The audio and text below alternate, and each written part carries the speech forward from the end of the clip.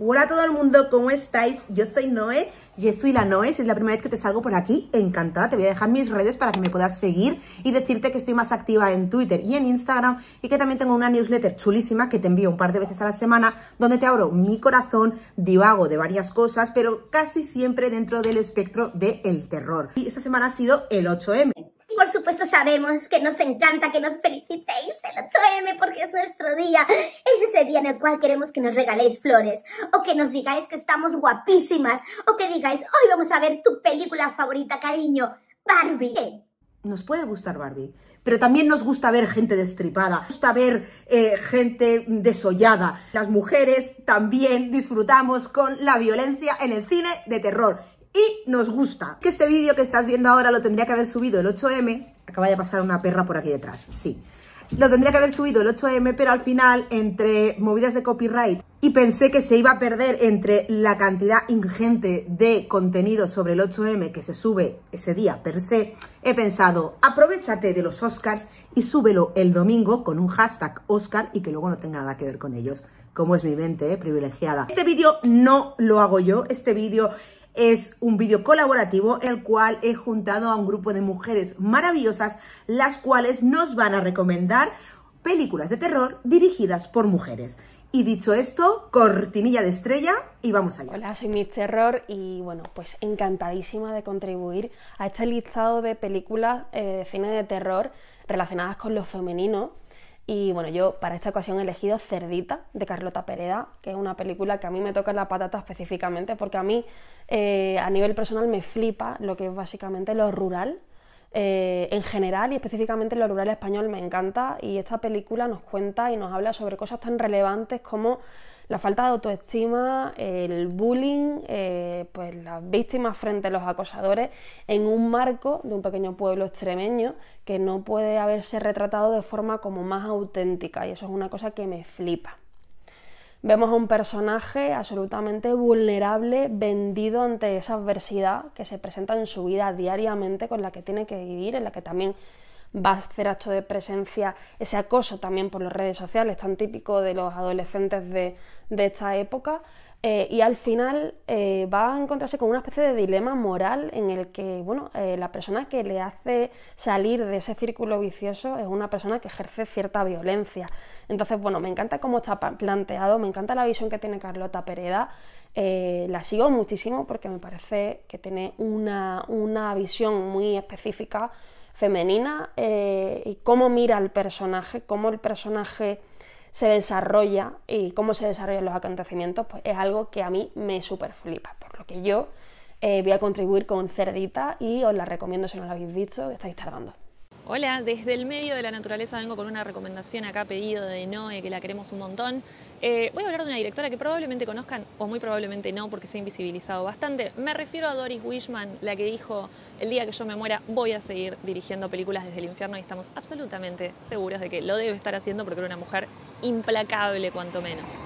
Eh, la película que les quiero recomendar es parte de su vasta filmografía. Recuerden que hizo aproximadamente 30 películas, digo aproximadamente porque no podemos saber porque Doris Wishman viene a traernos también sobre la mesa un gran problema que es el problema de los archivos en el cine dirigido por mujeres. Pero eso es otra cuestión.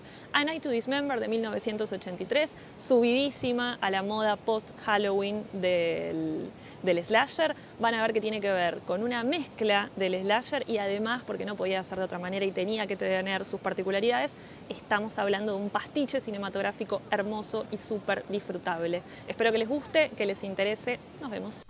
Hola, hola, yo soy Marina, me encontráis como Velus Marina en Instagram, Twitter, etc. y como Terror Velvet en TikTok. Y la película que os voy a recomendar yo es The Wolf Witch y la dirige Anna Biller. Es una película del año 2016 que critica el amor romántico y habla de la libertad sexual de la mujer, algo por lo que nos han reprimido durante los siglos de los siglos, y lo hace a través de la brujería y la figura de la bruja, donde una chica que está enamorada del amor, del concepto del amor, y lo quiere ensalzar y encontrar su principio azul, no deja de cometer asesinatos, algunas veces involuntarios, tratando de hechizar a sus pretendientes. Además, la película tiene una ambientación increíble porque todo está recreado como si fuese los años 60, 70 y el maquillaje y el vestuario es una auténtica pasada.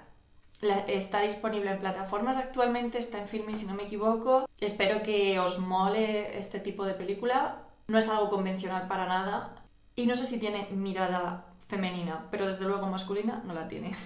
Muy buenas, soy Síncope del canal de cine Rotten Mind y en esta ocasión vengo a recomendaros una película dirigida y guionizada por Jenna y Silvia Soska, también conocidas como las hermanas Soska. Dos directoras que, entre otras cosas, se han hecho famosas por ser grandes fans del body horror y del concepto de lo perturbador. Se trata de la película American Mary, una película del año 2012 de 102 minutos de duración y además canadiense, protagonizada por Catherine Isabel, quien interpretará al personaje de Mary Mason, la principal protagonista de la película. Una estudiante de medicina que además es aspirante a cirujana y que debe varios meses de alquiler de su piso. Así que por una cosa o por otra y sobre todo porque Mary consigue dinero fácil, acabará metiéndose en el cuestionable mundo de las cirugías extremas estéticas y sobre todo de las modificaciones corporales. Modificaciones corporales en su mayoría irreversibles. Esto no es una película de terror explícita, ni siquiera la considero gore, pero hay que tener en cuenta que las hermanas Soska no se cortan ni un pelo a la hora de mostrar estas perversiones en pantalla. Perversiones que son aptas para la mayoría, tolerables y que además están hechas con mucho gusto, con mucho nivel artístico y sobre todo recreadas con prótesis, efectos prácticos y maquillaje. Aunque también os tengo que advertir que hay algunas cosas que sospecho que sean reales debido a que son actores y actrices que están introducidas en este mundo de las modificaciones corporales.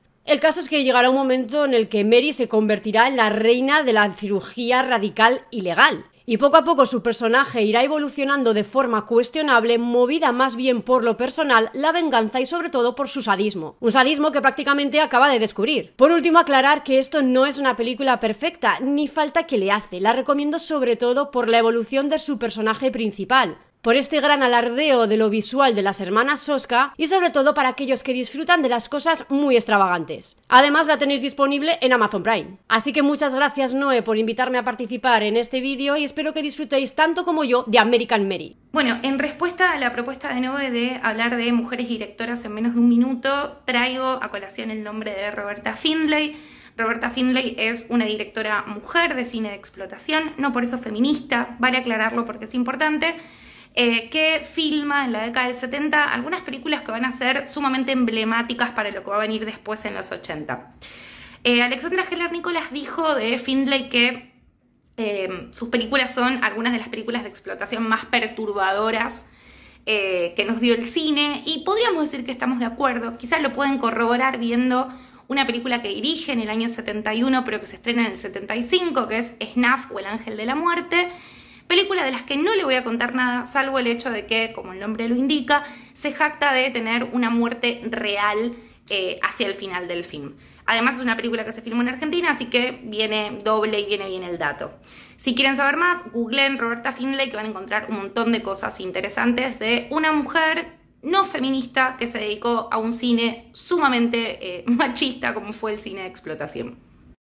Buenas, soy Catherine Vega, soy escritora de terror y me hace muchísima ilusión que la 9 me haya invitado a este vídeo colaborativo para el 8M. ¿Por qué? Porque me flipa su cuenta. O sea, en casa somos mega fans de todas las pelis que recomienda y no sabéis cuántas noches nos ha salvado sus recomendaciones. Así que me hace muchísima ilusión que me haya invitado para hablar de una peli de terror. En mi caso, he escogido Fresh. ¿Por qué? Os doy cinco razones. Primero, porque lo mola todo. Y hoy en día, eh, sorprender en el mundo del terror yo creo que es difícil. Y sinceramente, yo que he consumido muchísimo terror, a mí Fresh me sorprendió. Con lo cual, para mí, eso ya es un punto a favor. Segundo, es una historia de sororidad femenina. Y no se suelen ver mucho en el cine de terror. O sea, estamos acostumbrados a que eh, las mujeres seamos eh, las víctimas. En este caso también. Pero no solemos ver esas historias de sororidad femenina, con lo cual esa es mi segunda razón. La tercera razón es que está dirigida por una mujer. Solo por eso vale la pena, de verdad, porque la visión femenina en el, en el mundo del cine del terror y en el terror en general creo que es súper importante. Cuatro, trata el tema del canibalismo, que a mí personalmente es un tema que me flipa. O sea, ¿a quién no le va a gustar un buen caníbal? Pues a mí, a mí me flipa. Y además en esta peli está tratado de una manera, yo creo, distinta, con el rollo, con una crítica capitalista que me mola bastante. Es explícita, pero yo creo que no lo suficiente como para que te dé asco. Y quinta razón, porque sale Sebastián Stan, y Sebastián Stan es tremendo papi chulo. Y bueno, como extra también me ha pedido que si quería recomendar algún libro de terror escrito por una mujer, obviamente, así que yo he elegido uno de una editorial independiente de aquí española, la autora es americana, pero os lo recomiendo un montón. Es eh, Corazones Indómitos de Casey Daly, lo tengo por aquí, la chuleta, que mirad qué fantasía de portada, además es súper finito, os lo vais a leer en una tarde, que es lo que me duró a mí. Está publicado por la editorial Dimensiones Ocultas, que es una editorial independiente de terror, un poquito mamarracho, un poquito gore. Bueno, tenéis todos los subgéneros de terror por ahí, así que si le queréis echar un vistazo, Corazones Indómitos, Casey Daly. Hola, yo soy Andrea de Miedo Mismo y la película que les traigo el día de hoy desentraña los horrores ocultos de la colonización australiana. Dirigida por Jennifer Kent, quien también hizo The Babadook, una película que estableció un nuevo estándar en el cine de terror, utilizando la fantasía para manifestar los horrores del mundo real. Nightingale sigue esta misma estela, pero esta vez se sumerge en el impactante poder de la realidad para exponer el lado más, más oscuro de la humanidad. 1825, en Tasmania, sigues la historia de Claire, una irlandesa condenada que vive bajo la opresión del asentamiento británico, dirigido por el cruel y despiadado teniente Hawkins. Y es entonces cuando Claire se embarca en este viaje oscuro y lleno de venganza. La acompaña un rastreador nativo de Australia y él y Claire forman un, un vínculo que aunque es muy improbable para la época, es lógico porque ambos buscan justicia. Y revela así la película la complejidad tan grande de las relaciones humanas en medio de la adversidad. La verdad es que la película no escatima para nada en violencia es una violencia despiadada e infligida a las minorías. Yo te advierto que es violenta para que no te dejes sorprender por esa violencia, pero sí te invito a que te sumerjas en la parábola de una venganza oscura y cómo es alimentada por esta ira humana que nos recuerda que el sufrimiento más, más profundo de nuestro pasado no debe de olvidarse. Hola Noé, ¿qué tal? Me has pedido que te hable de alguna mujer iconic del mundo del cine, así que te voy a hablar de Mar Targarona, cineasta catalana que tiene unas cuantas películas en su haber. Comenzó su carrera como actriz, pero sobre todo lo que ha hecho ha sido producir un montón de cine.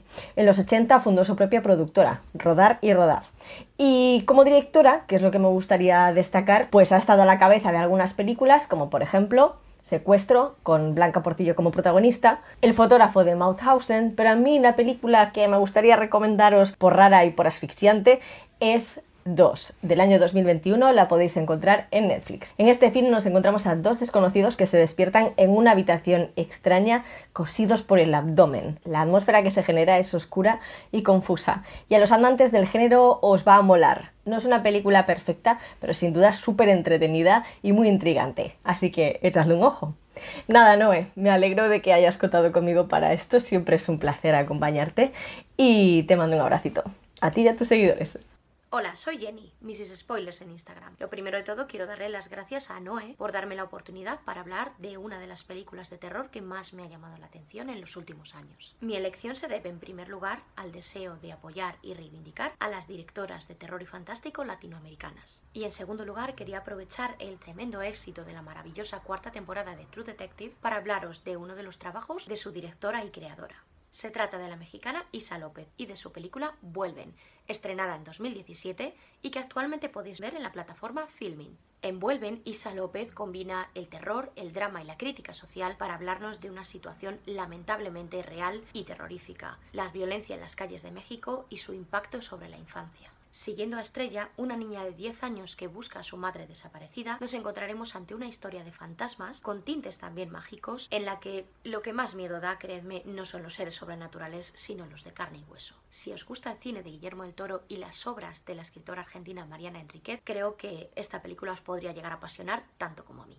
Muchísimas gracias a este grupo de mujeres maravillosas que me habéis enviado vídeos recomendando películas. Supongo que algunas las conocíais, otras no. Espero que os hayan gustado. Supongo que eh, si alguien no conocía a estas mujeres que hablan y divulgan sobre cine de terror, eh, ya tardáis. Así que, dicho esto, estoy encantada de haber eh, juntado este tremendo aquelarre. Muchísimas gracias por ver el vídeo.